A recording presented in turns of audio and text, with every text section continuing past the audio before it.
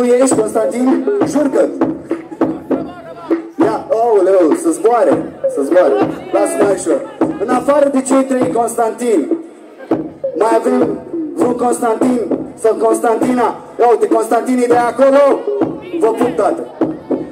Înseamnă că în seara asta la Deva e mare petrecere. Începem frumos. Fiți atenți.